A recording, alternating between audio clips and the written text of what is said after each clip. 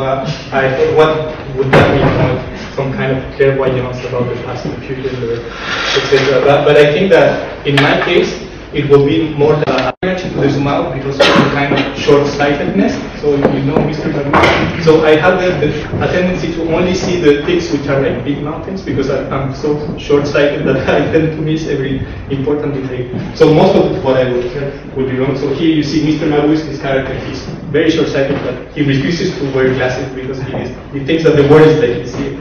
And so he's convinced that he's cutting the, the plants, but it happens. So Okay, so stage one, if you know the, the Christmas Carol Dickens, was composed in five stages for the past, present, and future. So let, us start with the past, which for neuroanatomy is very, very old. So it started with maybe the first kind of works in neuroanatomy that we remember, maybe those of Aristotle who was studying comparative neuroanatomy, looking at different species. And for a long time, uh, I don't know any Greek, but uh, I tried to imagine what anatomy would mean. And so the Greek word is that, and I thought anatomy, you have the ana, like analogous, you know, when, when something has the same explanation, maybe ana means kind of the same. And then tomos, at the end, that may be section or dividing a thing. And so I thought maybe it's neuroanatomy is about trying to divide or cut together things which are the, the, the same. And in fact, I, I, got it completely wrong. because after that, I asked a philosopher friend, and the, the ten, part uh, means it's kind of related to a section, but ana means just to cut, cut up. So in fact, anatomy means just to cut up. and the thing is that you have a knife, and then you try to cut up, and then you, you kind of tend to cut things which belong to the same organ. You know, it's more easy to separate, I don't know, the liver from the from the gut than cut through the liver or. And it's really very old. So this is, for example, uh, from the 15th century. You have here the, the anatomy of a horse in, as it was conceived in, in, Egypt, and also in Japan. This is the 17th century. So you have also some some first brain anatomy. Well, not, not, not even first, but it, has been with, with, us for a very long time. And you can see that, well, especially in this role, it's quite amazing because the, the level of detail that they got for different organs, like, like the heart, etc., was quite precise. But then for the brain, they, it, it, was very uh, schematic. Maybe because I know better the brain than the heart. But I think it's also because when you just cut the brain, what you see is something like this. So you, you, will get, these are just slices in this direction, and you tend to see the, the gray matter there, the kind of brownish part, and then the white matter, which is all the, now we know it's all the, the axons that connect the different neurons in different regions in the brain. Uh, but it's quite homogeneous. Okay? There, there's a lot of things that we can say with this, but you don't see much, So it, it's difficult to, to make any progress, and I think that for a long time it was difficult to make much progress because everything that we saw in the brain was quite homogeneous. And then, and then it started changing uh, by the end of the 19th century when we became able to, to stain the brain. It was quite an amazing moment. And you will see it like, like the equivalent in neuroscience of the Cambrian explosion just became huge so, for example, Franz uh, Nissl uh, developed a technique that would stain all the nuclei of the cells. And, and it was maybe uh, Brodmann who would use these techniques to, the, to, the, to its most. And the, the, what, what you can see is something like this. So this is a, a zoom. I will go back. So what I'm zooming is a region like, for example, this part, you know, the, the brownish part. And what you can see is all every dot is one cell, and you can see that, that there's a heterogeneity. So it, what seemed to be continuous, it's in fact heterogeneous. And then they started to, to realize that there are in within this cortex, which is in humans kind of two millimeters and a half, there are different layers. You know? And very often you have kind of the same the same six main layers but some of them, and, and this is one special region that people later uh, realized that that's the, division between the primary visual cortex and the secondary visual cortex. And if you do like Mr. Magoo and close a little bit your eyes, you will see here kind of a, a very abrupt change in layers with two dark bands fusing into only one in what now we call layer 4. And then looking at that type of difference, people starting, started making this type of maps. So what seemed to be homogeneous was in fact uh, a very heterogeneous and interesting map. For example, this is a, a human brain. And every time that, that Brodmann saw a difference in, in the type of uh, composition of the cerebral cortex, he, he would use a different type of uh, dot to, to indicate. So here you have, for example, the, this, this is the motor cortex, and this is the somatosensory cortex. Here in the inside part of the brain, to the back, you have the primary primary visual cortex, and also very, so the, the difference that, that we were looking at in the previous slides is this difference here. And it was, as I said, uh, some kind of explosion. You know, at that time, um, it, it, wasn't very precise, and that, that, may be one of the, the main drawbacks of anatomy, neuroanatomy at that time, but it was very rich. So they started making maps of everything. And this is the same book by, by Brodmann, so this is a cortical map for the genome.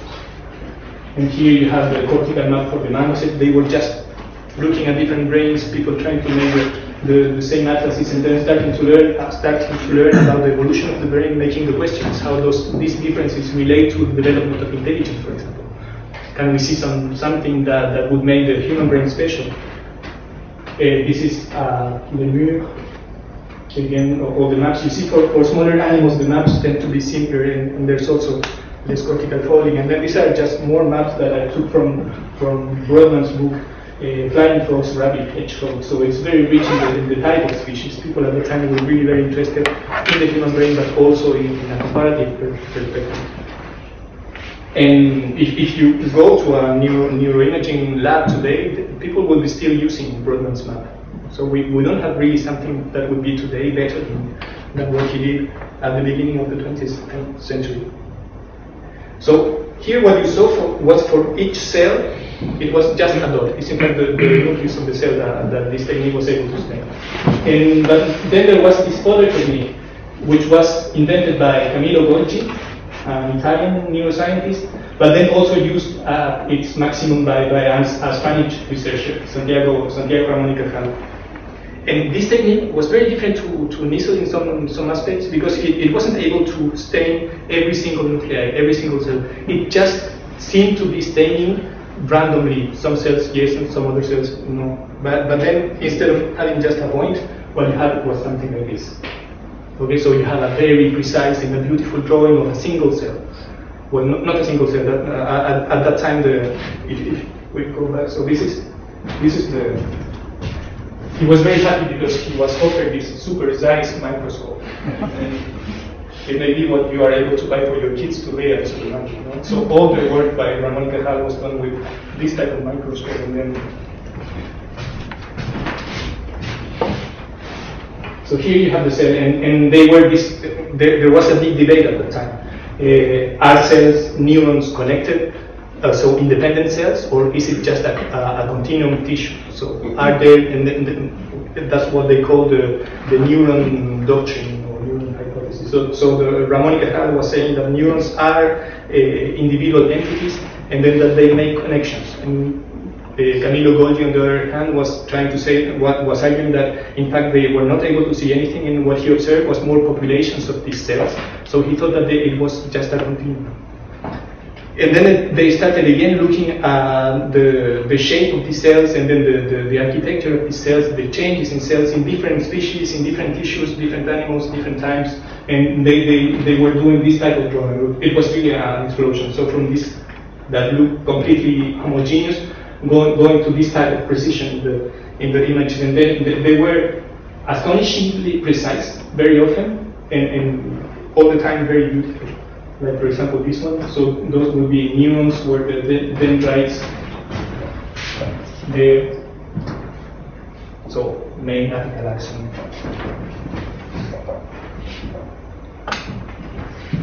Just show you some of the nice images. There, there's a very beautiful book by Javier de Felipe that's uh, like an art book with, with all the, the neurons that they were looking at the time. And so that, that was the beginning of the 20th century. And I, I imagine that the, the labs at the time looked like a, bit, a little bit like this. So this is what, what you could see today if you went to the Muséum d'Histoire Naturelle in Paris. They have also maybe the, one of the largest collections of vertebrate brains. But if you look at the dates, there's nothing older than the 50s, more or less, no? 31, 42. A lot of the brains go to the 20s or the, the end of the 19th century, but uh, at some point something, something happened with, with neuro- neuroanatomy. That's kind of, there, there is something that we could maybe identify as the end of classical neuroanatomy. And if you look at what happened in the timeline of neuroscience in the 30s, it's this. so Hans Berger uses human scalp electrodes to demonstrate, demonstrate electroencephalography. So in the 20th century again, uh, the first method to record single cell uh, sensory and motor axons. So also the, being able to measure electrical activity. And this is the first circuit that was used to measure the electrical activity in motor motor neurons. So they, they were hanging weights to to, to, to, to these cells and then related to, to the way you would you would be able to see a different different uh, action potential, so a discharge of electricity. And on one hand, neuroanatomy was very descriptive. what I showed you was just drawings, very often not well, completely not quantitative. Maybe you, you can make a quantification of the volume, but it's really very, very descriptive. On the other hand, when you have this type of data, you have a you can have a series of numbers, and then you can analyze that in a more quantitative way. And also, I think that at that time, beginning of the 20th century, electricity was the, the, the imp- impressive thing. So every, everyone, I have the impression that a lot of the people, or the interest at least, moved to to the, electricity, the dynamics of neural networks more than the anatomy, and then the anatomy was a little bit forgotten. That, that would be the end of it. The classical part of anatomy. But then, so there, there was, I think that now we are seeing a second life of uh, neuroanatomy. So the, this would be the ghost of the present neuroanatomy. And I think that it started, it's like some kind of parallel evolution from a, a different, different field. So I have the impression that it started, and again, it's like Mr. No? it's just my own, my own perception which is most likely completely wrong. So you have here, by, by also end of the uh, 19th century, people starting to play with uh, X-rays. Now they are taking pictures of their hand very carefully like this. One day, uh, you wouldn't do that today. And, and they were able to, to get this type of picture. So this is Wilhelm Röntgen, and this is the, a picture of the, the first X-ray of, uh, of a hand of someone. So this is his wife. The first X-ray. But then it moved, so the, the, this had an immediate clinical application. You would, would be able to see inside someone uh, that's alive. You don't have to gut anyone. Uh, and so the, this new line of evolution of neuroanatomy, it's clearly related with medicine. Okay, here you're trying to heal people, but then it moved to so trying to get this into some more non-invasive type of technology. Uh, it, it, became what, what it's today magnetic resonance imaging. So this is the, the first image of a magnetic resonance uh, imaging scanner. And what you have here is so one of those two guys is uh, Sir Peter Mansfield, and they, they came up with a method that would allow you to take using just magnetic resonance take pictures of someone's inside. So you have here two well, several big magnets that would produce a, a, very strong magnetic field in that direction, and then they wearing they were wearing some kind of coils that would produce gradients that would allow them to take pictures, which at the beginning were like this. So this is someone's torso and the arms, and you can see the heart in, in the center. I, I, would imagine that it's that, but it's more imagination than really a, a fact. So th those are images of one of those two researchers, and this is the first uh, brain MRI. So those are the ventricles. Sorry, Roberto, in what year was this? Hmm? You know, in what year? 1970s. Okay. And, and, this is how uh, an MRI looks today. Okay, we really get a very, very nice precision. So most of the time, if you were willing to participate in the project that we're running today at the Hospital Rodeo de Today, you could come and have an MRI of your brain and get, get data like this. It's one millimeter uh, isotropic resolution. It will take just 45 minutes of your life, and you will get that one, and uh, an image of the main uh, fiber tracts in your brain and also brain function. And, and you can also, by the way, scan anything else. It's not only for brain, these are fruits. so you can have beautiful MRI fruits. But then again, it's very, again, it's descriptive. And if you go to the hospital, even today, well, doctors are a bit quantitative, but more descriptive than anything. So they will just look at the image and say, ah, look here, there's a cyst, or whatever, or this thing looks a little bit strange. Or they will compare just kind of, but it's not very quantitative. And I think that the big revolution was to try to make that quantitative.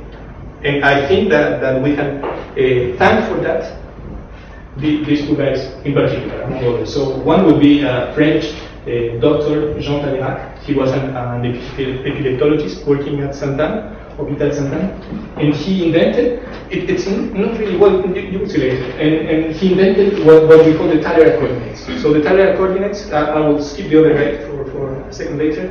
These are the Talairach coordinates. So the, the idea is very simple. It's, it's something that we do all the time with animals as well.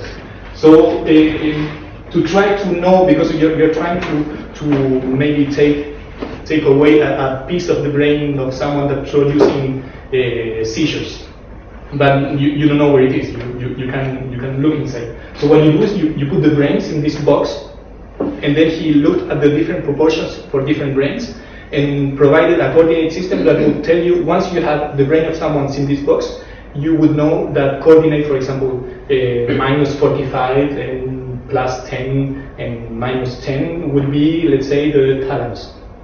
Okay, so you would be able to put your electrode in that coordinate and know that you are more or less close to the thalamus without even knowing what you're doing, without seeing.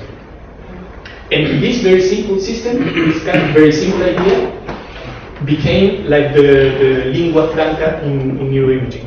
So every time that you see a result in a neuroimaging paper, even today, and it's, it has been the case for how much, maybe 20, more than 20 years, you will get this Talairach coordinates, which allows you to compare different papers. It, it's not precise at all, but it gives you this, this kind of basic common ground.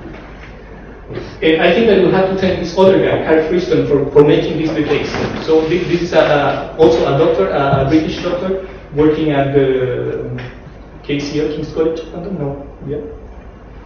And he started trying to do statistical analysis with this, with this data, really being quantitative. And uh, he's very active even today. Uh, He, well, very young, and the, the thing is that he talked with several statisticians, asking them how can we compare the brain of different people because because I want to know, for example, Alzheimer's disease, where does it happen in the brain, etc.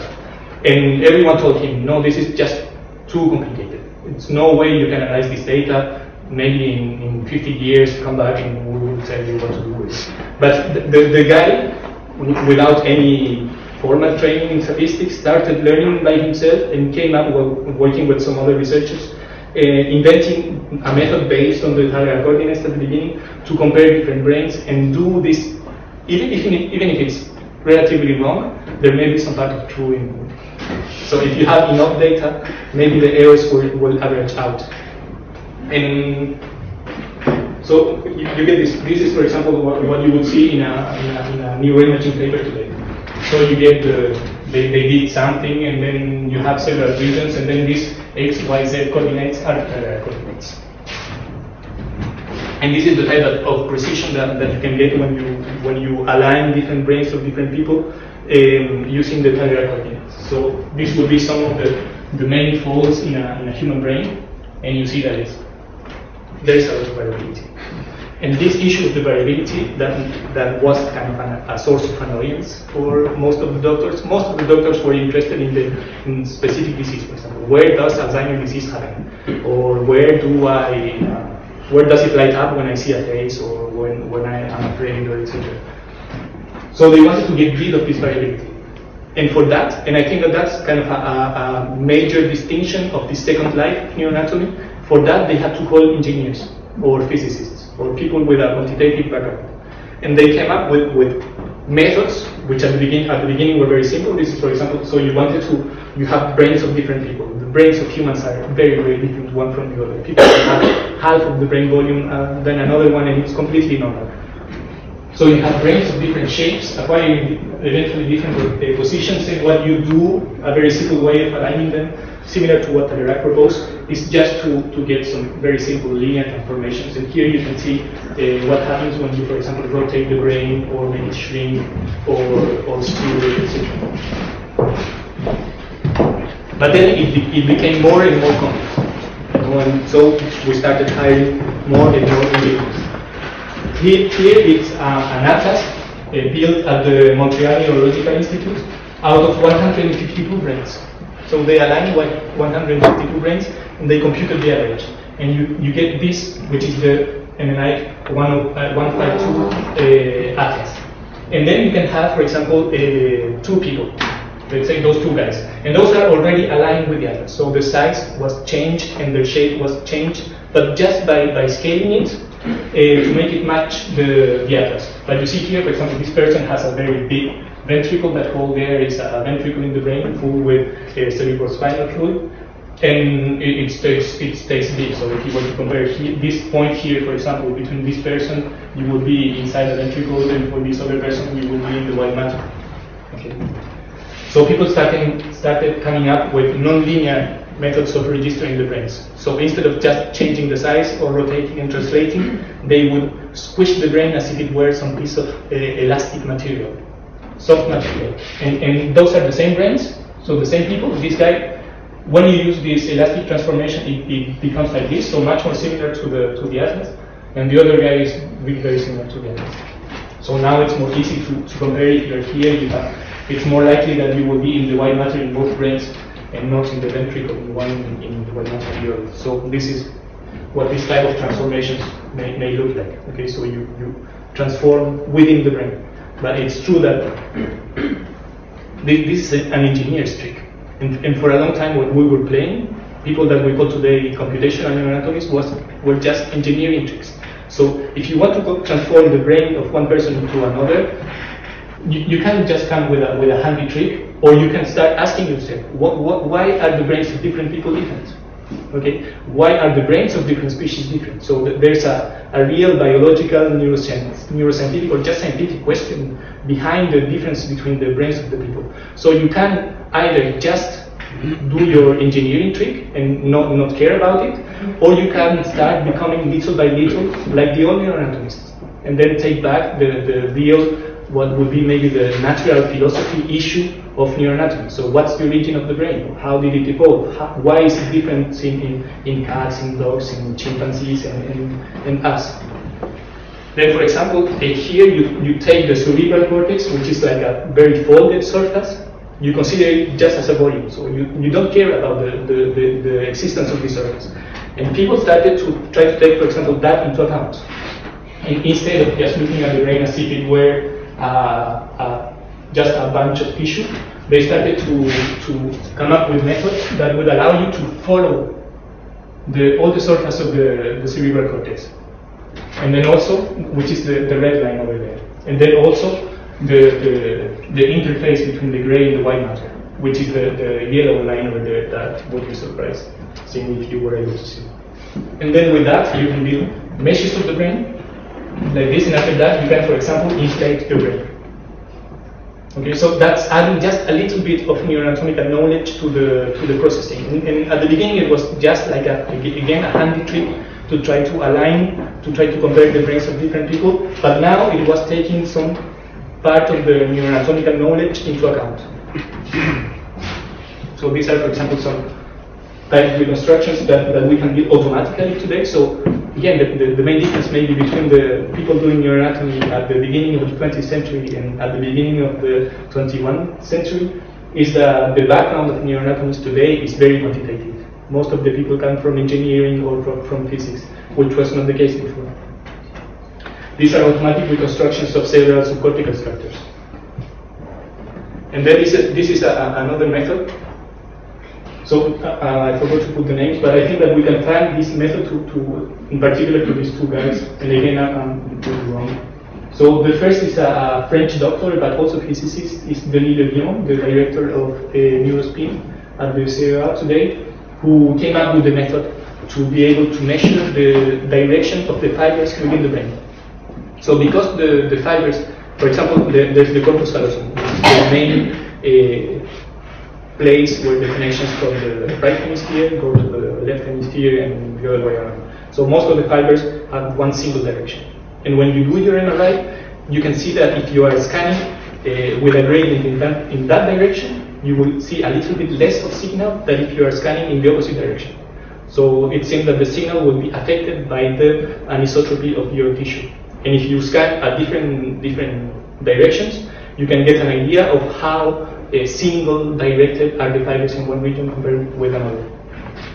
And you can, you can imagine that uh, so those are called tensors, but if all the directions are equivalent, you can imagine that it's like a sphere. So in a sphere, there's no preferred direction.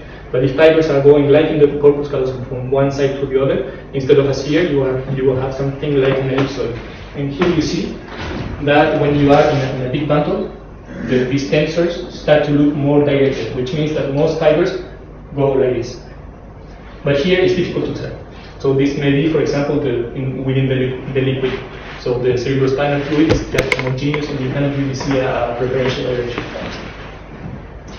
And this is one interesting result. So now we are trying to get, in addition to the gray and white information, we can also have something about the structure and maybe the connectivity of the brain in someone which is black.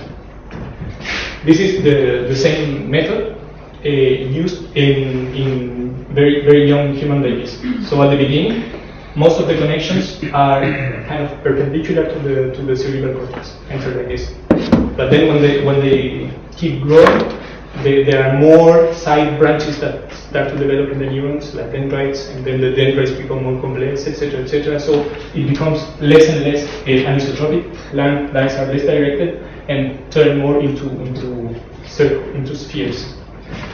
And now, if you you you can imagine the, the trick here. If you just follow the lines, for example, here, you would be able to reconstruct what could be the most likely uh, direction of a fiber if it were here. And, and you get these, beautiful images. So you, you, you may know them. So those are the images, uh, which is just a prediction of uh, what, what is possibly the connection of a, of a living brain. Okay, it's not really that we're actually follow, following real fibers, it's just a prediction, which comes from the integration of a, of a tensor field. And, and, this is how it looks in three dimensions. So this is diffusion tensor imaging. Again, so the method was introduced by, by Denis Le Bihan, but maybe maybe the, the kind of practical use of it, and it's the, the picture of the other guy, so Tim Behrens, he's quite remarkable, very, very young guy, and he, he invented all the statistical framework to uh, compute the, the connectivity in a brain based on the DTI data. So even if Denis Le Bihan came up with the, the basic principle, I think that it was uh, Oxford University where they made, made that into something that people could use. And, and maybe even today the most used tool for analysis of DTI is the, the one that this guy invented. But then I think that, so, again, the, the, picture there, uh, there's, as it, it were before, so if you remember in the, the, the past neuroanatomy, maybe the, the big issue or, or what, what I would see as the big issue they had was this qualitative, qualitative aspect, you know, very descriptive. And I think that the danger of neuroanatomy today is that it's really very related uh, with, with medicine, so which wasn't that much the question before. So before it was about the, the, the question were, were, were, more scientific. What's the evolution of the brain? Where, where does intelligence come from? What makes a, a species different from another? And here, on the contrary, we're trying to, where people are not that concerned with that type of almost philosophical question, but more with how can we detect the, the neuroanatomical basis of this disease or this other disease, or try to see if that drug is working or not. Uh, and the risk is making abstraction of all the, the scientific part. And very often, what happens is that people start, work, start working with very small sample sizes. You know, because you have just a few just a few patients, and then you try to. Also, the culture maybe at the hospital is not the same culture that, that you would see in some other fields. And in, in particular, in, in, neuroimaging and in biomedical science, you, we are witnessing this type of problem today, which is really very, very difficult. Very, uh, so power failure. uh, statistical power.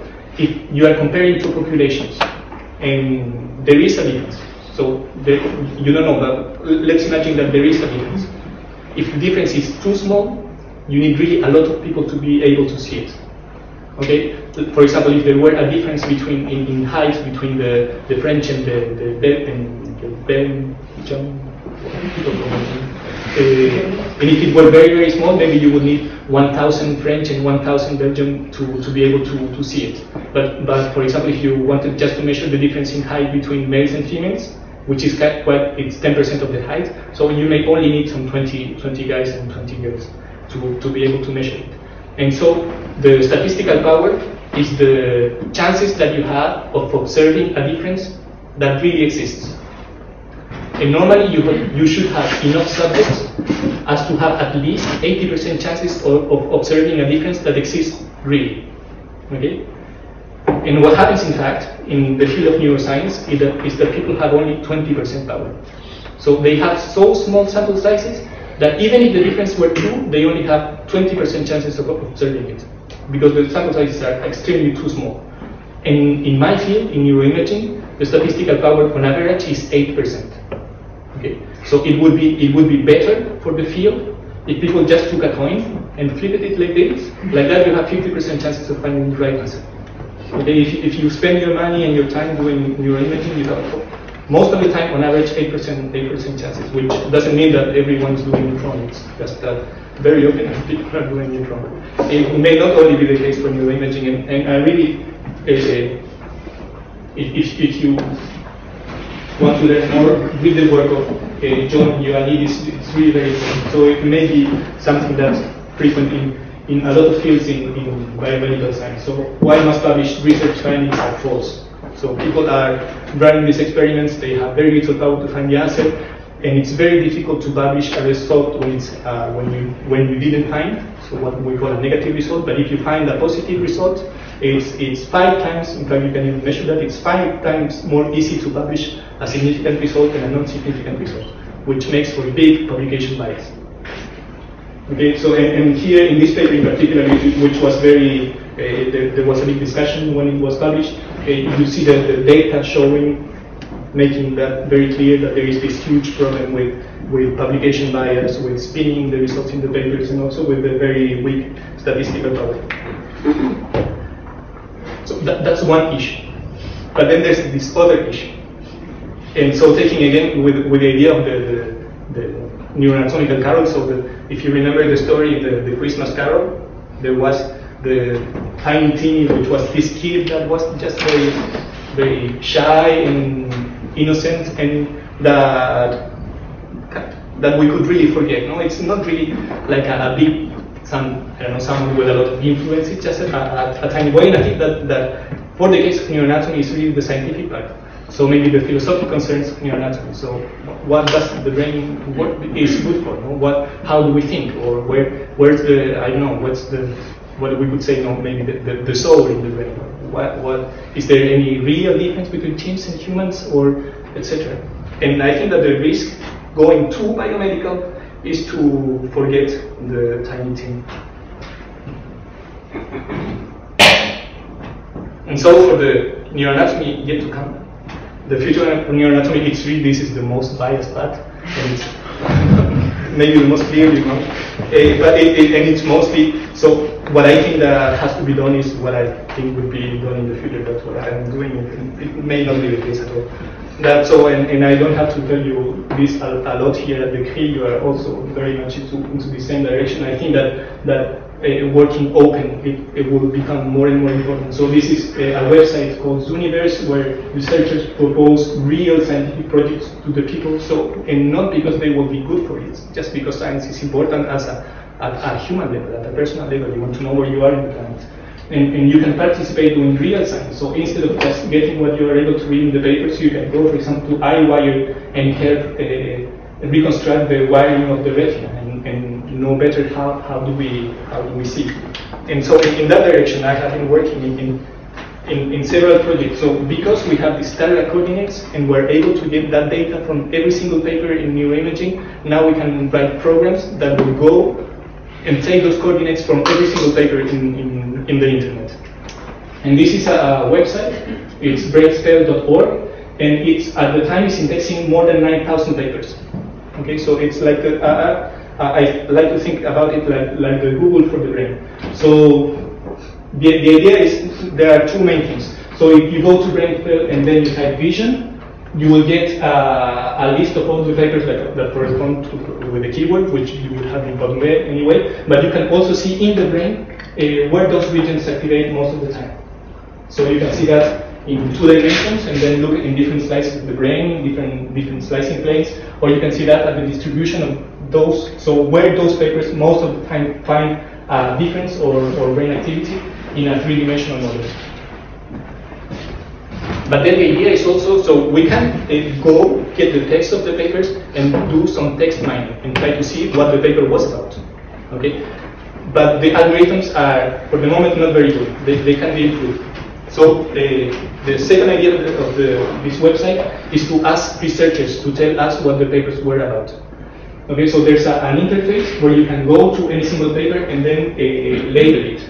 We, we, we have several different ontologies, one for labeling the cognitive domains involved, or one for labeling the tasks. So what researchers ask the, the people to do when within the, the MRI scanner, and then you, you can go and and, and tag uh, add labels or tell, tell us how many subjects were involved in the subject. So a lot of different things which are very difficult for a computer to get, but very easy for, for a person to, to get.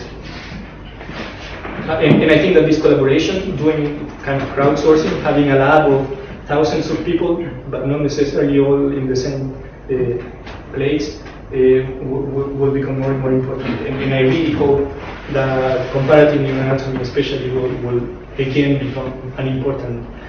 So in, in, the, in the pictures that I show you of the Museum d'Histoire Naturelle, it's really amazing. At that time in the early 20th century, you, you have the impression that comparative neuroanatomy, so try to see what's the place of humans within the rest of the, the diversity, how similar we are and how different we are, was really very important. So they were investing a lot of their time, their, you know, their uh, thinking on, on that. And, but if you look today, it's like a dead collection. It's really very sad, I think.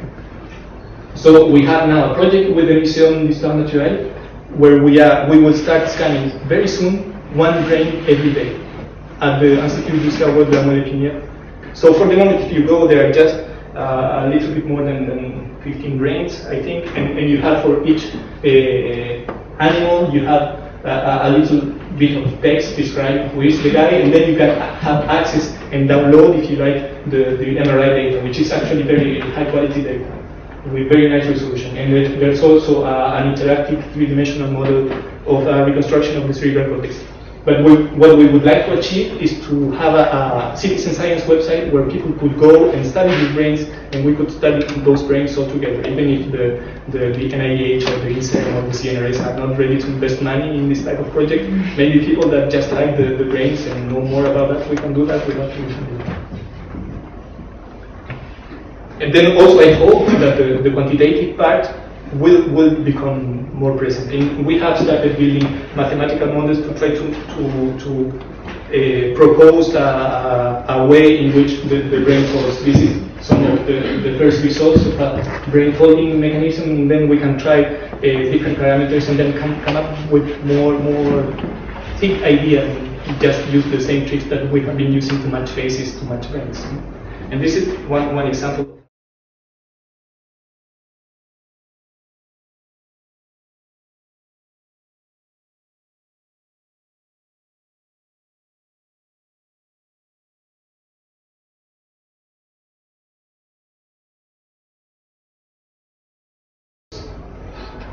And then we're trying to, to figure out how the, the brain folds and then so how these mechanical aspects could affect the, the organization of the brain with, with a, a nice experiment with the, using, using ferrets. Uh, so I don't imagine that in the future everyone will be using ferrets, but it's just something that I wanted to you. So the ferrets is very interesting because of humans, when, when we are born, we have already a, a, brain which is completely folded. And if you remember the maps that I showed you, the, the brain folds in the different cytoarchitectonic regions, these different bands, with different organizations, um, were quite strongly related with this with, with some of his goals. What's interesting in the ferret is that at birth they, they have a completely smooth brain. No no faults at all. And then in a matter of two weeks they start to develop faults uh, quite deep. And, and at, at, in the you, you have already a very folded brain, again with a cytoarchitectonic map that corresponds with this, with this folding pattern. So we will try to describe using magnetic resonance imaging, but also uh, three-dimensional histology, and I will show you an image later of what it looks like, uh, to really describe all the process of uh, the development of a, of a ferret, brain, ferret brain. And all the data, again, will be available through the internet, so it will not be a resource only for us, it will be a resource for anyone interested in, in brain development. So here you see some of the, the maps that we have been building, so these are flat maps uh, of the uh, anatomy. And, and this is one example of the type of interface that you can have to access this. So at, at the end of the, the brains will be a slice processed by a robot that will do the, the histology, so cutting every brain uh, slices of 30 microns thick, and then scanning that at a resolution of a quarter of a micron. And so it will be uh, at about one, one terabyte per brain, and all, all the data will be available on the internet. And this is some kind of interface. It's really very much like, like Google Maps. So you can zoom in and zoom out, and it's very, it's quite fast. And then you can also have a, a uh, so you can go and look at that through a graphic interface, but you can also go and look at that with a computer program. So if you want to run quantification, it will be also also possible. So really my, my, my wish for the future is that neuroanatomy will, will become more quantitative. It will turn again more into something that like, like natural philosophy, so we will start again uh, asking uh, new scientific questions, and then that it will become open more and more.